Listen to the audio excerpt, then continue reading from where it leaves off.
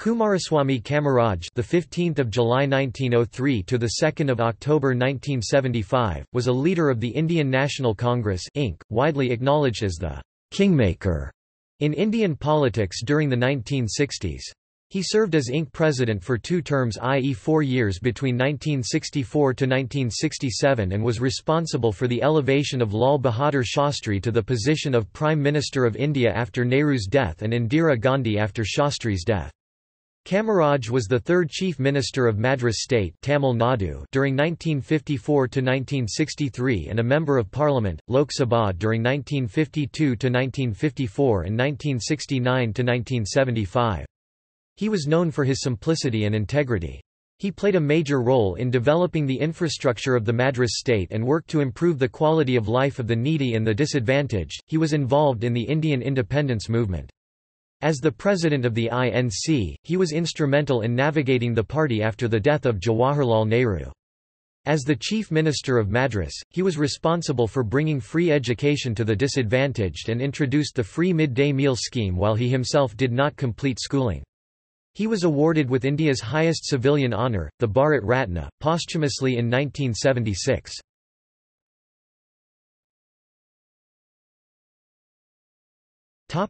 Early life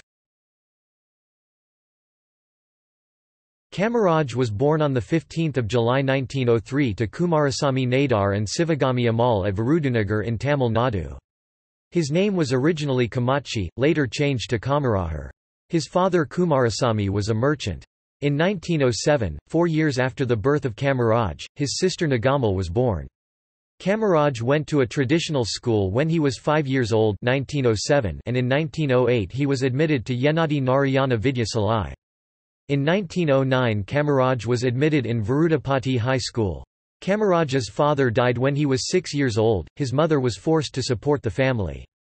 In 1914 Kamaraj dropped out of school to support his mother.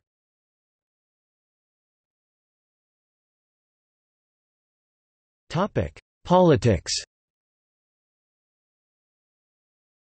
As a young boy Kamaraj worked in his uncle's provision shop, during this time he began to attend public meetings and processions about the Indian Home Rule movement. Kamaraj developed an interest in prevailing political conditions by reading newspapers daily. The Jallianwala Bagh massacre was the decisive turning point in his life, he decided to fight for national freedom and to bring an end to foreign rule. In 1920, when he was 18, he became active in politics. He joined Congress as a full-time political worker. In 1921 Kamaraj organized public meetings at Virudunagar for Congress leaders. He was eager to meet Gandhi, and when Gandhi visited Madurai on 21 September 1921 Kamaraj attended the public meeting and met Gandhi for the first time. He visited villages carrying Congress propaganda. In 1922 Congress boycotted the visit of the Prince of Wales as part of the non-cooperation movement. He came to Madras and took part in the event. In 1923–25 Kamaraj participated in the Nagpur flag satyagraha.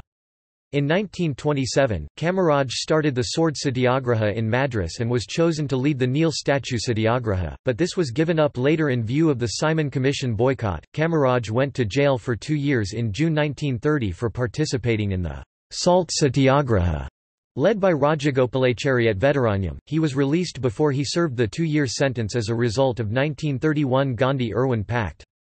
In 1932, Section 144 was imposed in Madras prohibiting the holding of meetings and organisation of processions against the arrest of Gandhi in Bombay.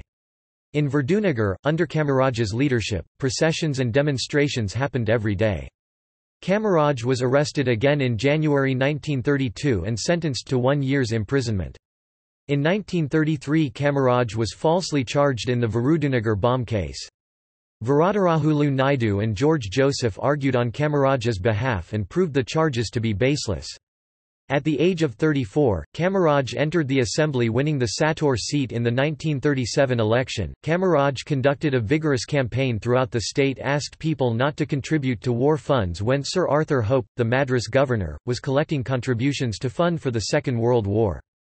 In December 1940 he was arrested again at Guntur, under the Defence of India rules for speeches that opposed contributions to the war fund, and sent to Vellore Central Prison while he was on his way to Wardha to get Gandhi's approval for a list of satyagrahis. While in jail, he was elected as municipal councillor of Virudunagar. He was released nine months later in November 1941 and resigned from this post as he thought he had greater responsibility for the nation. His principle was, one should not accept any post to which one could not do full justice. In 1942, Kamaraj attended the All India Congress Committee in Bombay and returned to spread propaganda material for the Quit India movement. The police issued orders to all the leaders who attended this Bombay session. Kamaraj did not want to be arrested before he took the message to all district and local leaders. He decided not to go to Madras and decided to shorten his trip. He saw a large number of policemen waiting to arrest Congress leaders in Arakkonam but managed to escape from the police and went to Ranipet, Tanjore, Trichy, and Madurai to inform local leaders about the Quit India movement. He reached Virudunagar after finishing his work and sent a message to the local police that he was ready to be arrested. He was arrested in August 1942. He was under detention for three years and was released in June 1945. This was his last prison term. Kamaraj was imprisoned six times by the British for his pro-independence activities, that added up to more than 3,000 days in jail.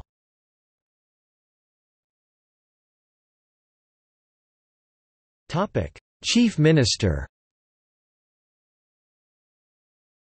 On 13 April 1954, Kamaraj became the Chief Minister of Madras Province. To everyone's surprise, Kamaraj nominated C. Subramaniam and M. Bhaktavatsalam, who had contested his leadership, to the newly formed cabinet. As chief minister, Kamaraj removed the family vocation-based hereditary education policy introduced by Rajaji. The state made immense strides in education and trade. New schools were opened, so that poor rural students had to walk no more than three kilometers to their nearest school. Better facilities were added to existing ones. No village remained without a primary school and no panchayat without a high school. Kamaraj strove to eradicate illiteracy by introducing free and compulsory education up to the 11th standard. He introduced the midday meal scheme to provide at least one meal per day to the lakhs of poor school children. Later it was expanded to four more schools. This was the precursor to the free noon meal schemes introduced by K. Kamaraj in 1960s and expanded by M. G. Ramachandran in the 1980s. He introduced free school uniforms to weed out caste, creed and class distinctions among young minds. During the British regime the education rate was only 7%. But after Kamaraj's reforms it reached 37%. Apart from increasing the number of schools, steps were taken to improve standards of education. To improve standards, the number of working days was increased from 180 to 200, unnecessary holidays were reduced, and syllabi were prepared to give opportunity to various abilities. Kamaraj and Bishnuram Medhi governor took efforts to establish IIT Madras in 1959. Major irrigation schemes were planned in Kamaraj's period. Dams and irrigation canals were built across Higher Bhavani, Mani Muthur, Arani, Vaigai, Amaravathi, Sathanur, Krishnagiri, Pulambadi, Parambikulam and Neyaru among others. The lower Bhavani Dam in Erode district brought 207,000 acres 840 square kilometers of land under cultivation. 45,000 acres 180 square kilometers of land benefited from canals constructed from the Mettur Dam. The Vaigai and Sathanur systems facilitated cultivation across thousands of acres of lands in Madurai and North Arcot districts respectively. 30 crore rupees were planned to be spent for Parambikulam River Scheme, and 150 lakhs of acres of lands were brought under cultivation. One third of this, i.e., 56 lakhs of acres of land, received a permanent irrigation facility. In 1957–61 1,628 tanks were desilted under the small irrigation scheme, and 2,000 wells were dug with outlets. Long-term loans with 25% subsidy were given to farmers. In addition farmers who had dry lands were given oil engines and electric pump sets on an installment basis. Industries with huge investments in crores of rupees were started in his period, Neyveli Lignite Corporation, BHEL at Trichy, Manali Refinery, Hindustan Raw Photo Film Factory at Ooty, Surgical Instruments Factory at Chennai, and a railway coach factory at Chennai were established. Industries such as paper, sugar, chemicals and cement took off during the period.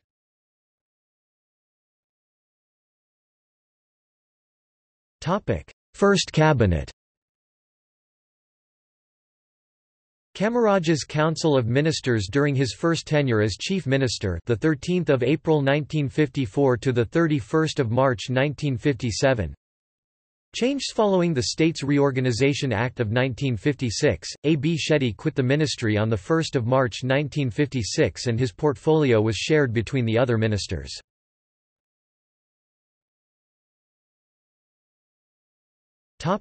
Second cabinet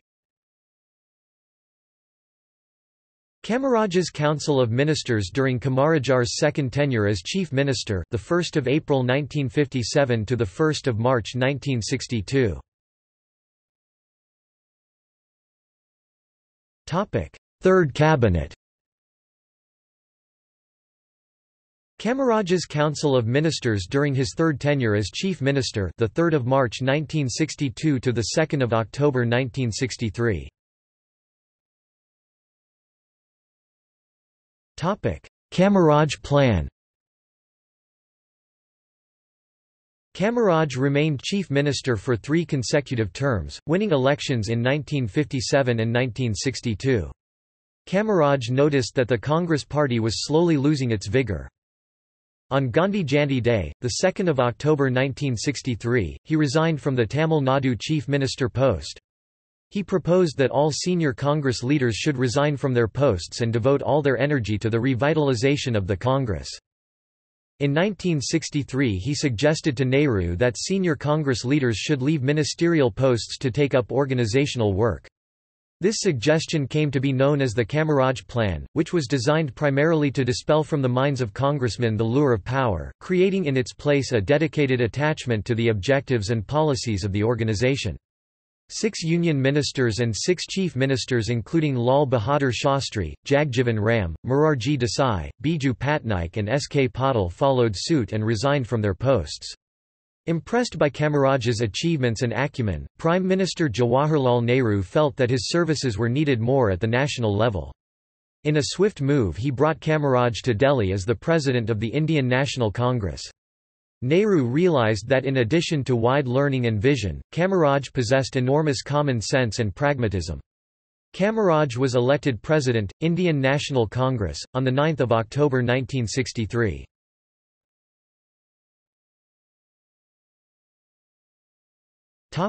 National politics After Nehru's death in 1964, Kamaraj successfully navigated the party through turbulent times. As president of the INC, he refused to become the next prime minister himself and was instrumental in bringing to power two prime ministers, Lal Bahadur Shastri in 1964 and Nehru's daughter Indira Gandhi in 1966. For this role, he was widely acclaimed as the «kingmaker» During the 1960s, when the Congress split in 1969, Kamaraj became the leader of the Indian National Congress Organization Inc. O in Tamil Nadu. The party failed poorly in the 1971 elections amid allegations of fraud by the opposition parties. He remained as the leader of Inc. O until his death in 1975.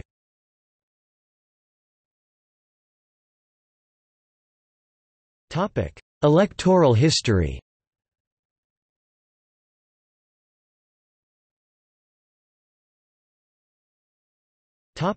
Personal life After being the chief minister of the state, when the municipality of Virudunagar provided a direct water connection to his house in the town, Kamaraj ordered it to be immediately disconnected as he did not want any special privileges. He refused to use the Z-level security that was provided to him as the CM of Tamil Nadu and travelled always with only one police patrol vehicle. He did not marry, did not own any property and was never tempted by power. When he died, he left behind 130 rupees, two pairs of sandals, four shirts, four dhotis and a few books.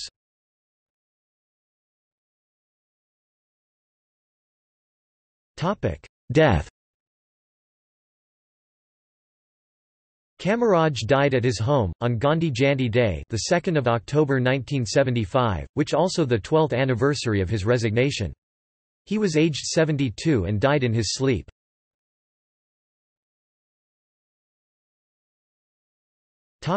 Legacy Kamaraj was awarded India's highest civilian honour, the Bharat Ratna, posthumously in 1976. He is widely acknowledged as Kalvi Thanthai, father of education in Tamil Nadu. The domestic terminal of the Chennai airport is named Kamaraj Terminal. Chennai's Beach Road is named Kamarajar Salai. Bangalore's North Parade Road and Parliament Road in New Delhi is K. Kamaraj Road, and the Madurai Kamaraj University in his honour. In 2003, the Government of India released a commemorative coin on his birthday.